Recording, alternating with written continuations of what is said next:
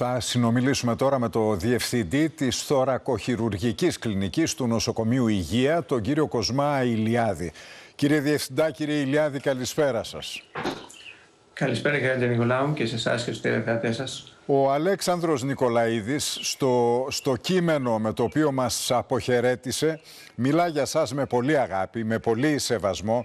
Λέει ότι τον αγκαλιάσατε σαν πατέρας και μιλά για το τελευταίο δύσκολο χειρουργείο ε, στους πνεύμονες.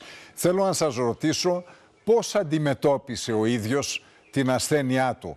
Ε, πώς αντιμετώπισε αυτό τον διετή Γολγοθά;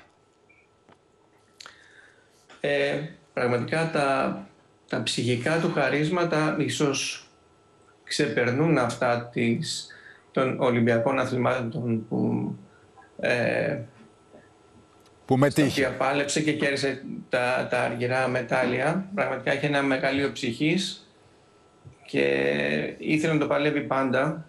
Αυτό έδινε κουράγιο και στους ογκολόγους που είχαν κάνει θεραπεία πριν και που συνέχισαν μετά, όπως τόνισε και ο Πρίτανης, ο καθηγητής κ. Δημόπουλος, με μια ασθένεια που ήταν προχωρημένη αρκετά και οι πιθανότητες να κρατήσει αυτό το διάστημα ήταν ε, μηδενικές. Με, την, με τις θεραπείες και το συντονισμό όλων των γιατρών ε, καταφέρθηκε αυτό που φαινόταν από την αρχή σαν αδύνατο και σίγουρα σε όλη αυτή την πορεία ε, έπαιξε μεγάλη σημασία το ότι ο ίδιος είχε το στένος να το παλέψει όπως το πάλεψε.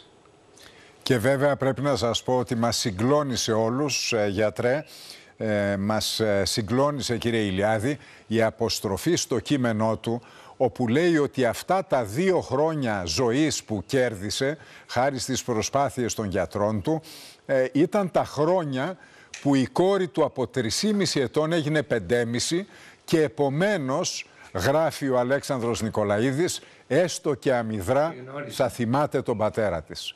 Νομίζω ότι μόνο για αυτή τη συγκλονιστική φράση που δείχνει το μεγαλείο της ψυχής του άξιζε ο αγώνας που δώσατε όλοι οι γιατροί του για να κερδίσει χρόνο ζωής και σας ευχαριστούμε όλοι μας για αυτή σας την, ε, την προσπάθεια. Να είστε καλά. Σας ευχαριστώ, γιατρέ. Ευχαριστώ. Καλό βράδυ. Γεια σας. Γεια.